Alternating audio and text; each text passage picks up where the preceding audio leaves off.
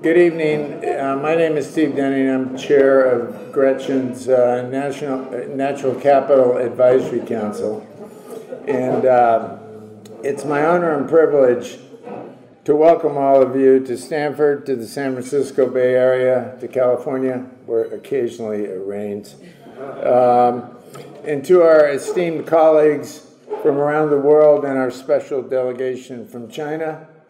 A special welcome to the United States. And to all of you, a warm welcome to the Natural Capital Project's annual dinner.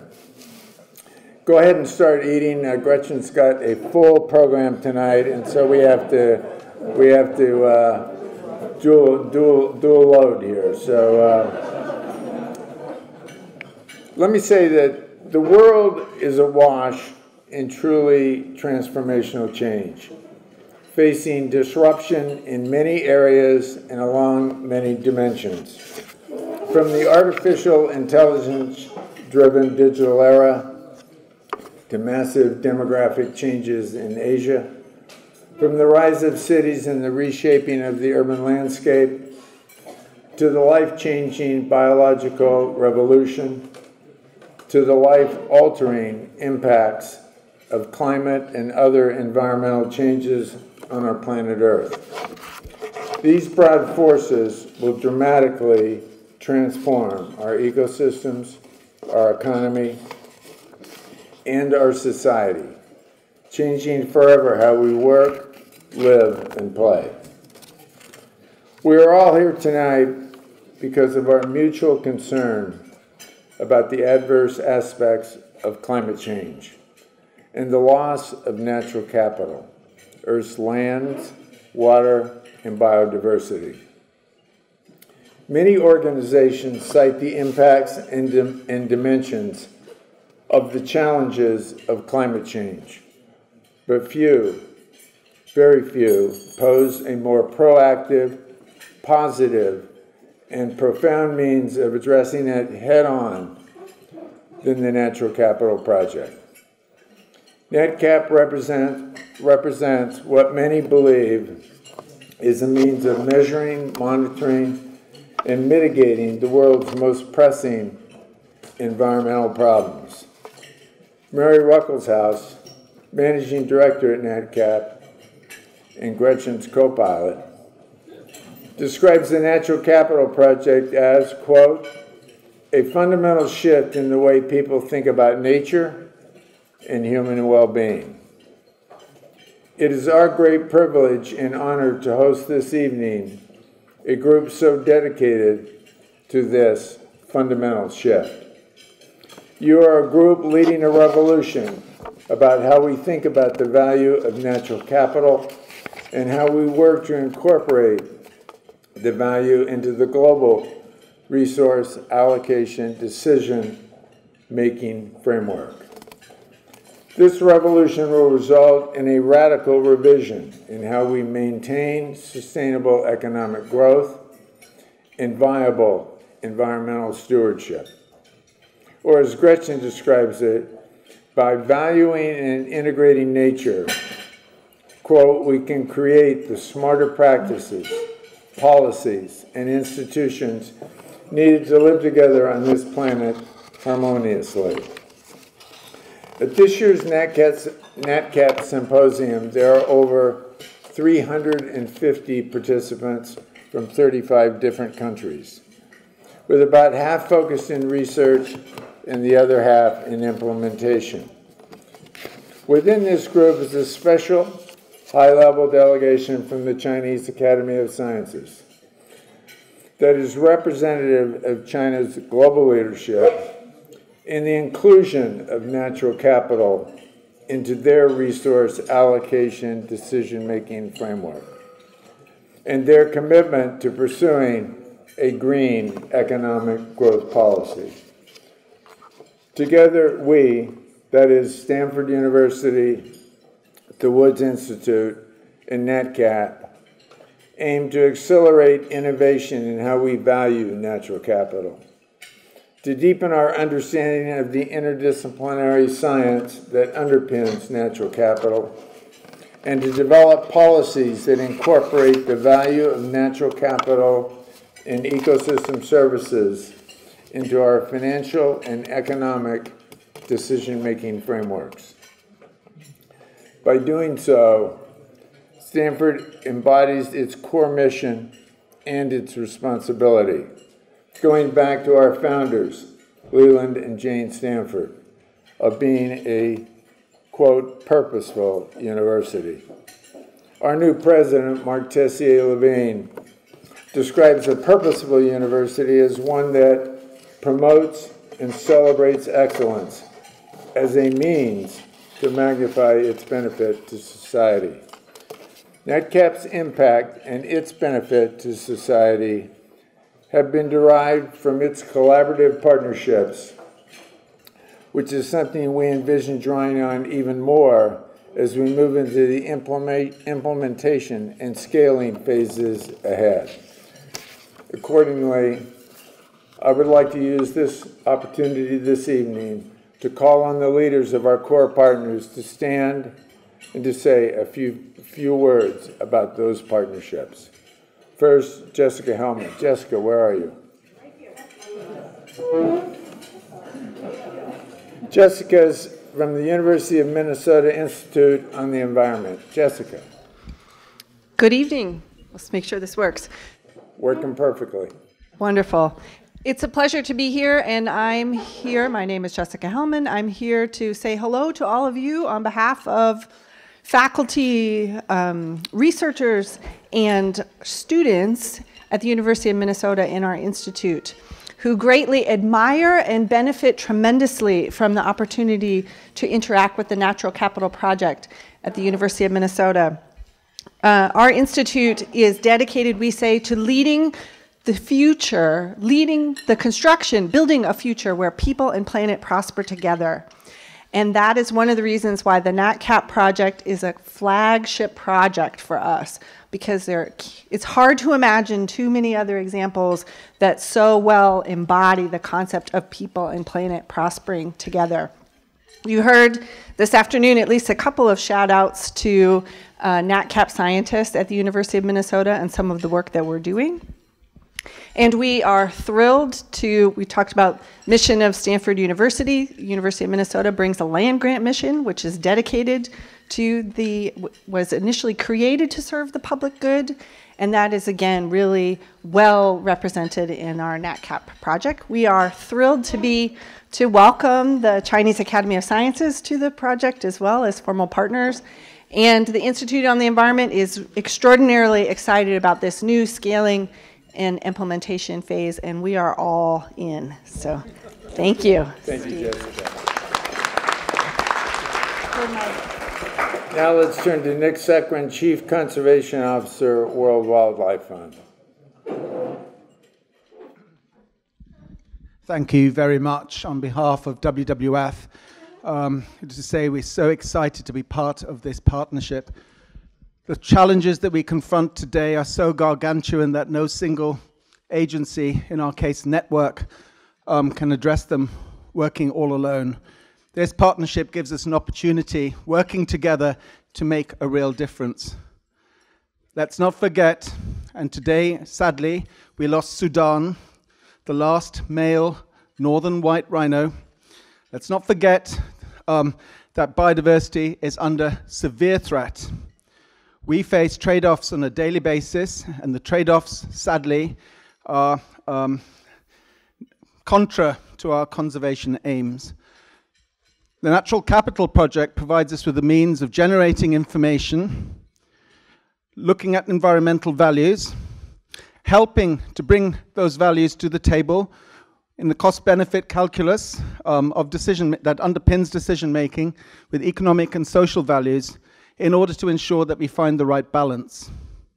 Otherwise, the world, and I come from the United Nations, where in my previous job I was the Director for Sustainable Development. We presided over the launch of the Sustainable Development Agenda and the SDGs. So, speaking from that perspective, I have to say that notwithstanding an agreement globally to try and pursue development that really and truly is built on three pillars economic, social, and environmental Still today, we focus on the economic and then the social, and environmental comes a distant third. And so, through this partnership, we at WWF, um, and we're looking forward to growing the partnership. And there are new challenges out there that we need to we need to we need to build in order to ensure that we're fit for purpose. Um, but we at WWF are excited to be part of this initiative, and hopefully through it to make the difference that we all need. Thank you. Thank you, Nick. And next, uh, my colleague, good friend, Mark Tercek, CEO of the Nature Conservancy.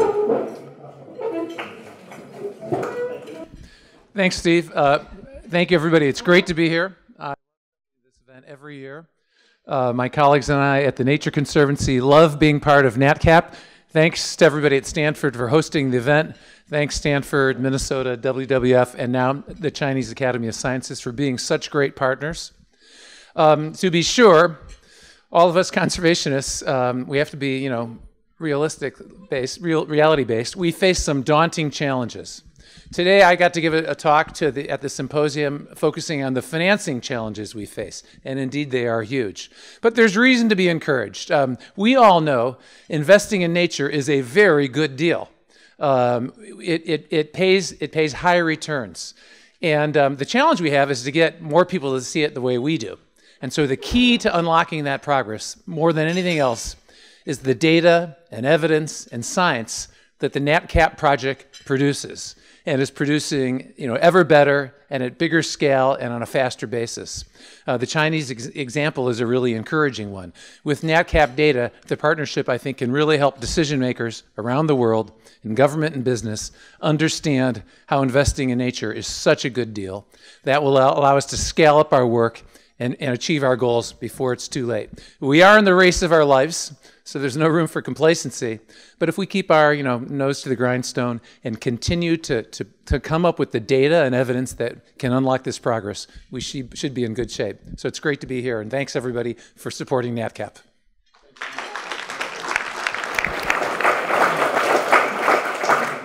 Now, now let me introduce Professor Ouyang, Director of Research Center for the Eco-Environmental Sciences, Chinese Academy of Science, as mentioned earlier, NatCap's new official core partner. Thank you. Thanks, Steve. We're very happy to be the new partnership of the Nature Capital. Actually, the Nature Capital project from last 10 years actually work together and have and mainstream ecosystem services and nature capital in policy making the national level and the local level. Actually, today, uh, this, this year, we, we are happy several local uh, government agency and joined us, and they like to be the pilot area to be the new mechanism for marketing ecosystem services and natural capital and to benefit the local people and poor people. So I believe of the project and the natural capital project will benefit China and the other part of the world. Thank you, all of you, support China Common Science and support China. Thank you for your, thank you for your leadership. And, and lastly, the organization of which NatCap is a part, the Woods Center for the Environment, the Woods Institute for the Environment, Chris Field. Thank you, Steve.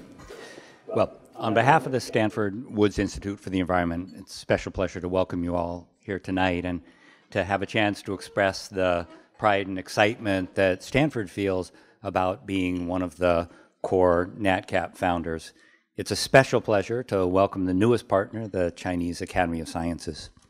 You know, NatCap is, is made of a huge number of, of wonderful, dedicated, creative people uh, but the genuine strength comes from the essence of it being a partnership.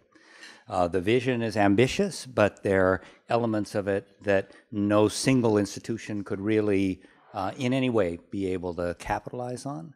And so, at least for me, the thing that I really want to help celebrate at this evening's gathering, and even more profoundly in the symposium that's going on over the, the three days, is the, the essential feature of bringing uh, different interests, different objectives, and different goals uh, to bear in a way that takes advantage of the NatCap tools but really extends them.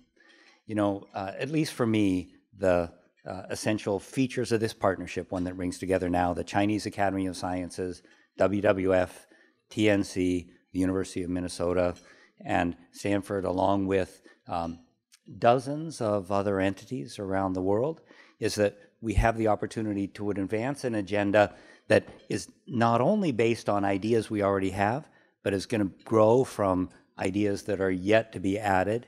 And at least for me, that's the, the spark of what makes NatCap exciting is the potential to pursue opportunities yet unseen. Thanks so much.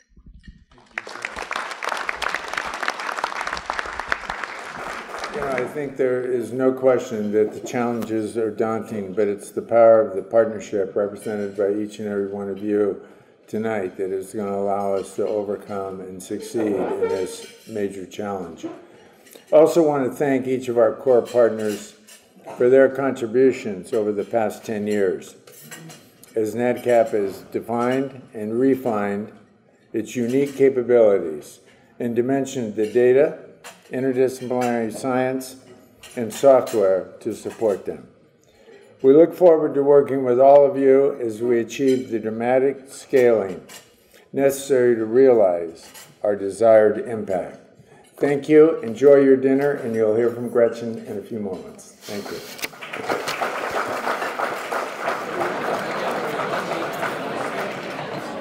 Hey, everybody.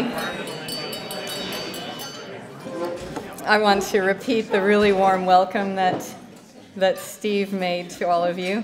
I always get very nervous, um, especially in front of a group like this. So I have wine here, and that lets me take, you know, just one molecule to offset the nervousness. And I have to be careful I don't go one molecule too far. So take a sip, and then you can keep eating, but I'll just share some reflections on this wonderful moment we have. Hopefully. Um, so, I have to say, you know, in welcoming you to Stanford, I was reflecting back on when I first got here. Actually, my first day here was one of the worst days of my life. I thought I had made just a terrible mistake. I had grown up uh, mostly overseas on US military bases, and it, I didn't realize that that was an unusual upbringing. And I got here and I just felt um, you know, I would never fit in into such a refined community as we have around the tables in this incredibly beautiful, just stunning um, venue, the Bing Concert Hall. And um, so I felt really scared and uncomfortable, and I was, my mind can get quite carried away, and it was just telling me to get out of here as fast as I could, but I didn't know how to go back to where I came from. I, I couldn't go back to the, those military bases, really. But luckily, um, by about the third day, the president of Stanford at the time, Don Kennedy, um, convened all the newcomers like myself. I was a freshman, so about 17, and got us into the biggest hall at the time on campus. And you know, we're sitting there, and I just had bats in my stomach and was wondering um, what to do, and he said, I always will remember this. He said, if you're comfortable, you're in the wrong place. And I, I just couldn't believe he said that. And he said, then he said, no one sitting here should feel comfortable.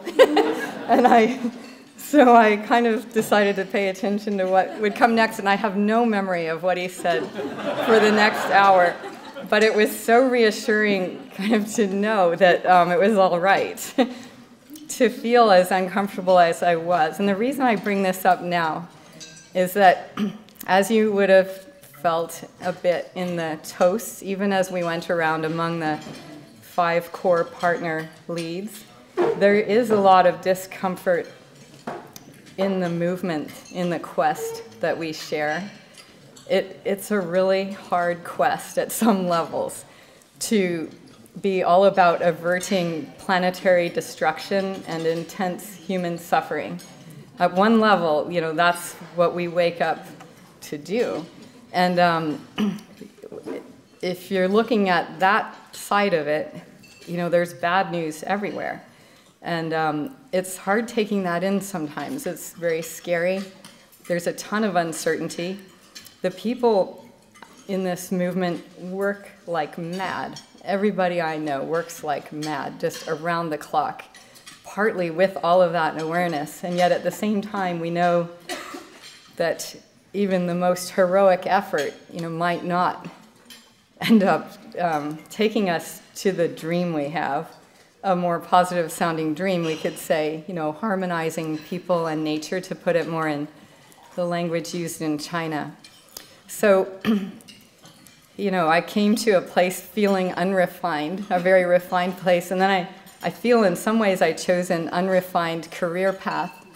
And it's hard even advising students on this career path because all the other career paths that I see, and maybe it's that I just don't know much about them, but to the left and right of this path look a lot smoother and easier, and um, people don't have to work quite so hard and um, more secure, easier to go explain to your parents why you're putting all the investment they made in you, you know, into this cockamamie scheme of um, natural capital, for example.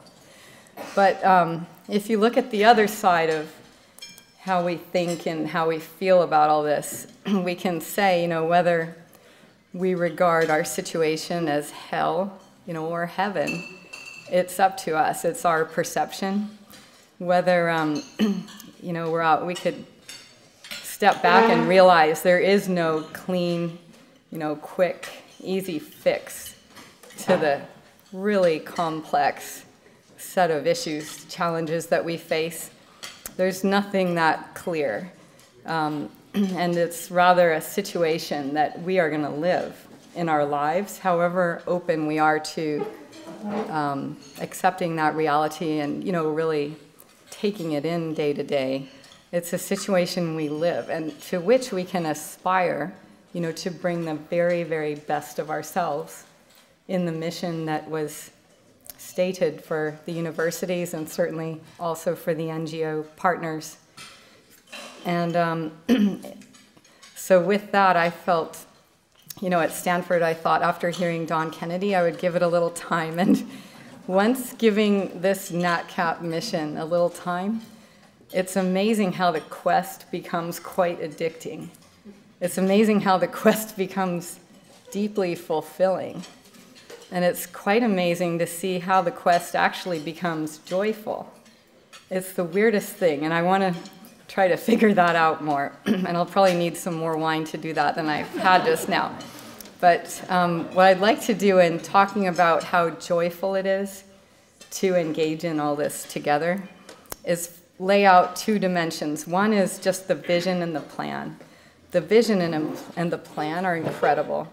They're just so compelling for all the complexity of the situation, for all the uncertainty now and ahead, mainstreaming the values of nature and all that involves in all our thinking, our feeling, and the way we act, the way we codify the right way to act in societies and different institutions around the world. It is so compelling and satisfying intellectually. And then at the level of feeling, it's amazing at this meeting every year to see. We counted since I gave Steve the, you know, 35 countries. I think there are at least 40 to 45 countries represented here. Many different languages, many different technical areas of background, many different career stages, people in all kinds of paths of life, um, many different cultures. There's such nuance in the different ways we see and live life. And we're all coming together to share and drive forward in this quest. And it, it might sound soft or, you know, weak, um, but I find that feeling that we get, you know, in every day, thinking about how we can work ever more powerfully together, just completely absorbing and completely, um, I don't know, it, it just ignites this power. I feel that we can magnify together and, and see ignited in places all around the world. So what I'd like to do, it's really ignited in China now. And I would like to now say more specifically what this quest is about, reflecting on China and on the performance that we'll see after dinner. Um, so it's incredible. I'll first illustrate just like the vision and plan and the way they're being implemented in China through the leadership of the Chinese Academy of Sciences, a big part of the government, many different um, levels, the NDRC, the National Development and Reform Commission, and then here among us, guests um, distributed among tables and speaking more in Chinese at that table of greatest honor there in the center of the room are people in places that today, right now, are implementing this vision. And um, the idea has caught fire at every level. So Xi Jinping is famous now in China for saying something loosely translated to English as lush mountains and clear waters are gold and silver. We will not trade them for gold or silver. And that's sort of looking back at all of the focus on GDP growth for the past several decades and the cost associated with that, and looking forward and saying we're going to make a whole different system here. And the system, it's, it's complex, so I don't mean to oversimplify it here, but given um, our time and the moment, I'll just say really briefly what the pieces are. So one piece is just shining a light on these intimate connections between people and nature, and then expressing that connection, those many different connections, in value terms, in meaningful ways, to open up a pathway for green and inclusive growth.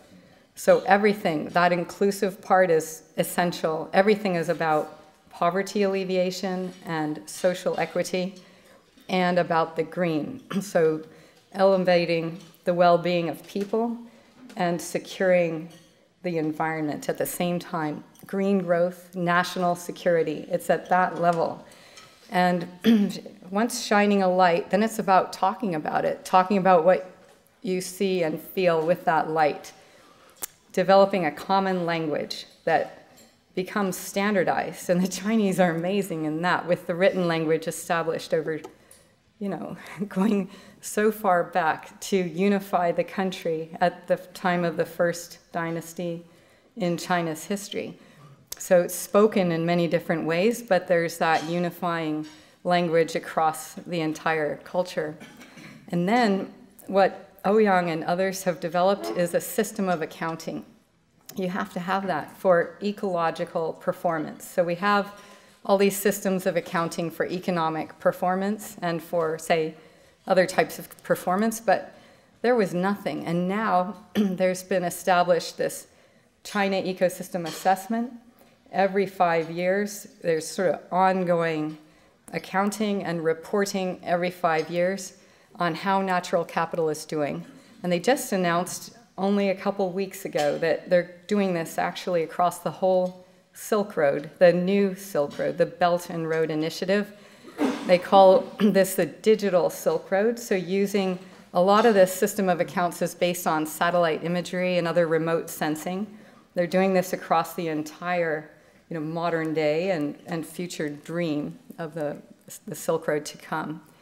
Um, and then related to that, in using InVEST, which we've co-developed over these many years and refined in many ways using the incredible um, data and ability to sort of road test all the models in China, um, estimating the flow of benefits to people, that whole side of it. And um, then, so that's, that's say one huge piece, this system of accounts and the flow of benefits. The second big piece, represented by the most honorable people who have joined us tonight, is bringing that into policy, finance, and management. And they've, as you know, reading the paper day by day, there's massive restructuring of the government, all of it really empowering the environmental side of things to bring in to policy, finance, and management this information on ecological performance.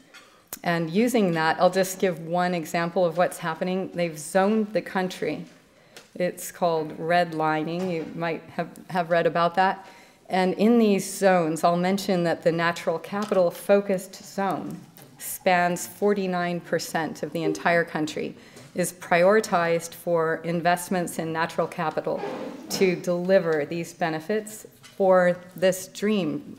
The, you know, Xi Jinping puts it in terms of China's dream, becoming the ecological civilization of the 21st century. And this is happening. The, the last um, related to that zoning is investment. So um, I'll, I'll, mention one last thing. It's way more complex than this, but the last thing is they're developing a new metric to help guide investment. It's called GEP. It's going to be reported right alongside GDP, gross domestic product, stands for gross ecosystem product. And the whole system is pretty much there and ready to go. GEP is now being road tested. Part of our symposium this week is focused on kind of the final details and getting that metric right. It will illuminate, you know, the contribution of ecosystems to society. It'll show the ecological connections among regions in China and show what financial flows ought to be happening in this green growth model. So who's supplying these ecosystem benefits, what landholders and others are there supplying, and who benefits and how can we compensate in a way that maintains supply and brings awareness to where all that life support is coming from. And then finally, it's going to be used as a performance uh, metric for government officials, partly not to penalize people doing a fantastic job in securing the environment and yet not getting much credit for it because they don't have 20% GDP growth or something. Um, but all that financial compensation today is already paying about 200 million people every year, every day, for ecosystem conservation and restoration for benefits to society. So, and for securing the country. And all of this really can extend across the world. So many of the other countries represented here are here to learn from China and see all the things that they've managed to get right, even coming out of a pretty desperate time that would get my spirit down, you know, thinking about some of the days we're in Beijing when you can't see your hand in front of you, but really lifting out of that time and moving into um, a very inspiring transformation. So even the City of London, I was sent a couple days ago, has developed a natural capital account, uh, reporting on the total value of the green space in London, the value of those assets, and annually an 8 billion pound stream of benefits to people living and working in London. So from all this, those are some of the details on China, on the vision and the plan. But from it comes such a powerful feeling and I think it's over many years, as Professor Ouyang mentioned, that we've been working together, deepening our understanding, just feeling the compassion in all of the work. We've been taken by Professor Ouyang to every corner of China, to the richest cities and out to you know, the poorest areas where people haven't heard of electricity, much less experienced it um, the amount of trust, the courage, the dedication, and the admiration that you feel working there or working in any of the many countries with individuals like these here and here together in the room with all of us. Just the exhilaration and the beauty in, in what we can do if we are all kind of activated and sharing in this feeling. So it's a deepest and best human experience, really. I'm glad I stayed at least this long here at Stanford. and um, I want to thank you very, very much and um, raise a toast. And some of the wine here is thanks to yet another wonderful activated person, John Miller, and his vineyard in Oregon. Let's enjoy the evening together. Cheers. Oh, okay. Cheers again. And uh, Mary might come up here if, if anybody wants to throw us some easy questions, because now we've had a bit too many molecules probably for a hard question.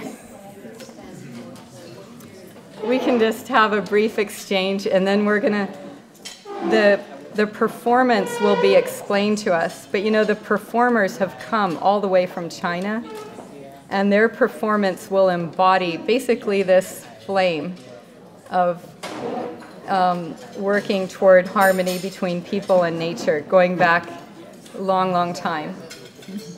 Yes. Okay,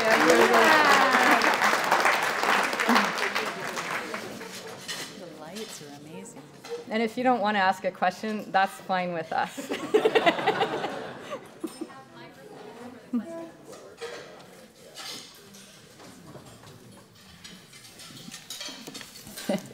What if we just enjoy the evening? Yeah. How about that? Sounds great. That sounds great.